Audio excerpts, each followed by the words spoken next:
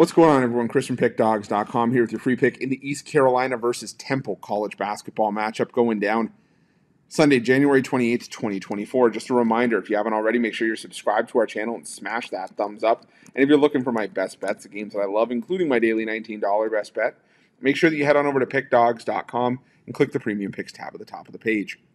But let's get to this one between East Carolina and Temple.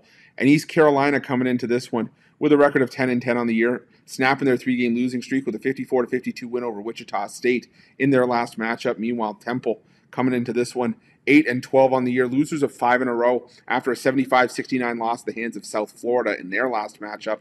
And this is not going to be one for uh, the people that like to watch flashy basketball. This game's probably going to be bowling shoe ugly if we had to take a take you know a comparison to it.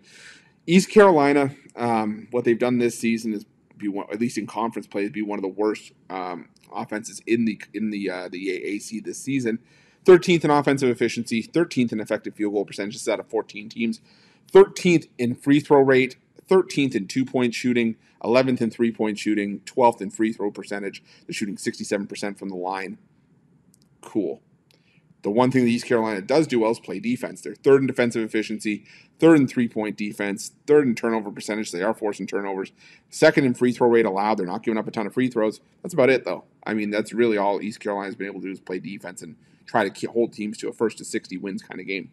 Temple, on the other hand, remember I said East Carolina was one of the worst? Temple is the worst offense in conference play this season. Dead last in offensive efficiency, effective field goal percentage, free throw rate on offense, so they're not getting to the foul line. They are dead last in three point shooting and two point shooting, and they're 11th from the foul line. So the rare opportunities they're getting, they're shooting around 70% from the foul line, but again, East Carolina doesn't give up many free throws.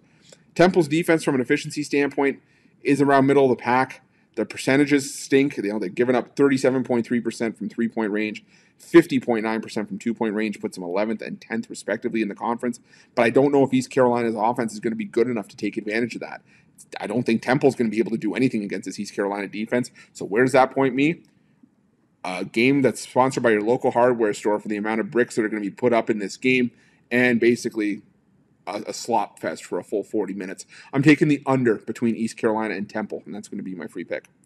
But just a reminder, if you haven't already, make sure you're subscribed to our channel and smash that thumbs up. And if you're looking for my best bets, you can find those at Pick Dawgz Premium. While you're at Pick Dawgz, check out our betting tools. They're 100% free. They're the best betting tools in the business and tools that you want to make sure that you have in your back pocket when you're making your best bets for the day's action. And while you're at our YouTube channel, make sure you have notifications turned on so you can be the first to be in the know when the newest content drops here at Pick Dawgz. Thanks for watching. See you guys soon.